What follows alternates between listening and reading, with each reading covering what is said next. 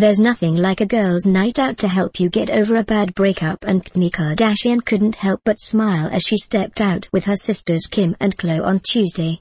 The trio, who'd worked out together earlier in the day, wore matching white outfits as they headed to Casa Escobar in Westlake, California.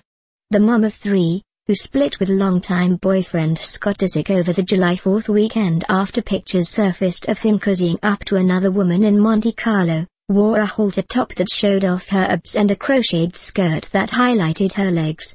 Kourtney Kardashian steps out with sisters Kim and Khloe but did they slam Scott Disick on Instagram question mark vertical bar Khloe Kardashian, Kim Kardashian, Kourtney Kardashian, Scott Disick from left, Khloe, Kim and Kourtney Kardashian aka MGSI Khloe shared a photo on Instagram that appeared to be a dig at Disick.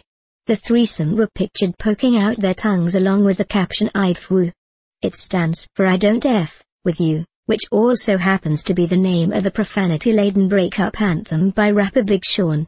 Kim shared a number of pics of the siblings taking a selfie on Tuesday night and simply captioned one of them sisters.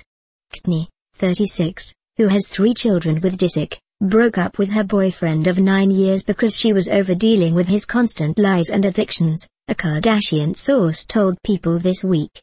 The 32-year-old's issues with alcohol have been well publicized and he was in rehab earlier this year. It was becoming a poor environment for the kids to be raised in, and she refused to let that be the case, the source added.